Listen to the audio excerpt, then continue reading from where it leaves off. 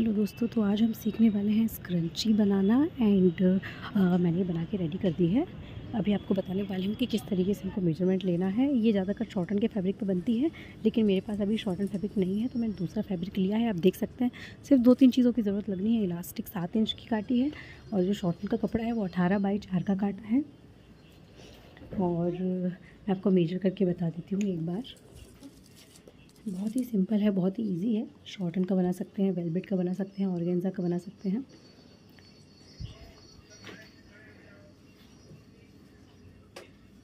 And आपको जितना ज़्यादा चौड़ा रखना है, आप अपने हिसाब से रख सकते हैं। अगर आपको ज़्यादा चौड़ाई रखनी है, आप ज़्यादा लीजिए, कम रखनी है, कम लीजिए, लंबाई ज़्यादा रखनी है, जो आपको जैसा चाहिए वैसा करिए। और इलास्टिक का यूज़ भी आपके उसके हिसाब से होगा कि आपके बाल कितने चौड़े हैं, कितनी वॉल्यूम वॉल्यूम है उनकी। इस तरीके से हमें यहाँ पर सिलाई लगानी है, जहाँ पर मैं पेन लगा रही हूँ अभी। यहाँ पर हम सिलाई लगा लेंगे।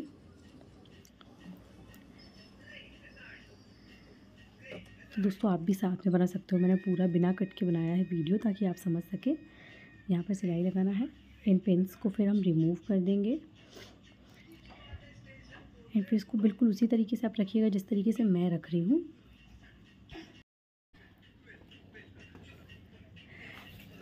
बिल्कुल ऐसे ही आपको मोड़ना है, जिस तरीके से मैंने मोड़ा है। एंड बहुत ही सिंपल है। बिल्कुल, अगर आपके पास सिलाई मशीन नहीं भी है तो भी टेंशन मत लीजिए, बहुत इजीली हो जाएगा। एंड इलास्टिक में ज़रूर आपको बताऊँगी आगे। इलास्टिक दूसरी टाइप की यूज़ करनी है आपको, मैं दूसरी टाइप की यूज़ कर रही हूँ।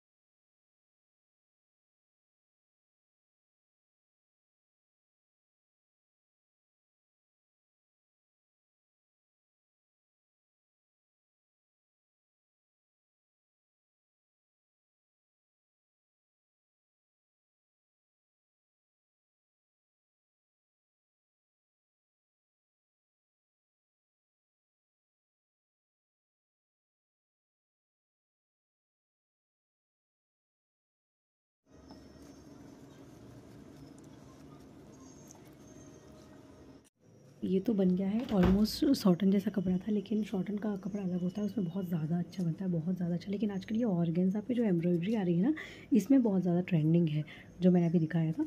और आप देख सकते हैं इसकी इलास्टिक भी ठीक है लेकिन उतनी ज़्यादा इलास्टिक नहीं हो पा रही है जितना जो मैंने बताया पतले वाले में आती है। तो बस सोची बनाना कितना ज़्यादा ईजी है। मैं आपको फिर से एक बार थोड़ा सा रिमाइंडर देना चाहूँगी मुझे एक स्पेशल बात बतानी इसीलिए मैंने अलग से वीडियो बनाया।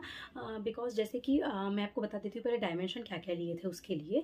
सो डायमेंशन जो थे वो अठारह बाय चार थे मतलब अठारह लंबाई में था एंड चार जो था वो चौड़ाई में था। इसके अलावा जो मैंने इलास्टिक ली थी वो सात इंच की ली थी सेवन इंच की ली थी। एंड स्टिचिंग मैंने आपको बता ही दी थी, बहुत ही सिंपल थी, बहुत ज़्यादा कोई डिफ़िकल्ट नहीं थी।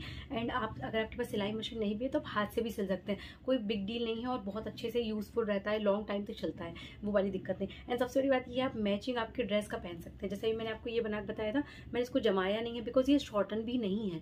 शॉर्टन का जो फैब्रिक है ना, वो कल ही मैंने एक लड़की को दे दिया जो मेरे पास ज़्यादा क्वांटिटी में था और फिर अंदर कहीं रखा होगा, फिर बेबी सो रही थी तो मैंने इसलिए नहीं निकाला। तो मेरे को पास, ये थोड़ा सा ऑलमोस्ट सिमिलर टू सिक्विन सॉटन है ये।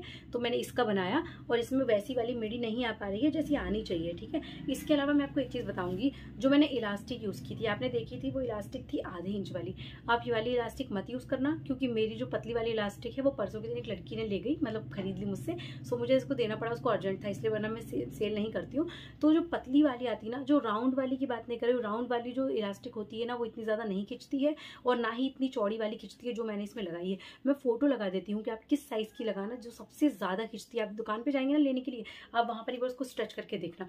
आप देखेंगे ये वाली इलास्टिक कम स्ट्रेच होगी, गोल वाली इलास्टिक अलग स्ट्रेच होगी एंड जो मैं बता रही हूँ पतली वाली लेकिन चौड़ाई में, वो वाली सबसे ज़्यादा स्ट्रेच होती है। आप उसमें बनाइएगा और आप एक मीटर कपड़े में कम से कम पचास शॉर्टन बना स्क्रंची बना सकते हैं।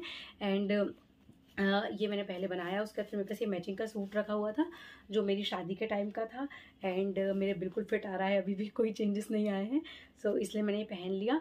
तो आप ना शॉर्टन में ही बना सकते हैं वेलवेट में बना सकते हैं और ऑर्गेन्जा में बना सकते हैं कोई भी सॉफ्ट फैब्रिक में आप बना सकते हैं। ऑर्गेन्जा में इसलिए मैंने बनाने को बोला क्योंकि आजकल ऑर्गेन्जा में बहुत सारे पैटर्न बहुत ज़्यादा फैब्रिक अच्छे अच्छे क्वालिटी के आ रहे हैं जो आपको मतलब काफ़ी लुक अच्छा देंगे। लेकिन हाँ स्क्रंची का जो मेन काम है वो हेयर फॉल कम करने का है सो इसीलिए आप इससे कैसे अगर आपको इससे मोटी बनानी है, आप चौड़ा कपड़ा ले लीजिए, आपको लंबी बनानी है और ज़्यादा कपड़ा ले लीजिए, जैसा बनाना है वैसा कपड़ा ले लीजिए, बिल्कुल बहुत ईजी है। कोई भी दिक्कत आए, आप मुझसे पूछ सकते हैं मैसेज कर सकते हैं कमेंट कर सकते हैं। इसके अलावा अगर आपको इसमें कोई डिज़ाइन ऐड करनी है, कोई पर्ल ऐड करना है तो बस ये बनने के बाद यहाँ पर आप पर्ल ऐड कर दीजिए, छोटे छोटे छोटे छोटे तो डिज़ाइन बन गई इसकी।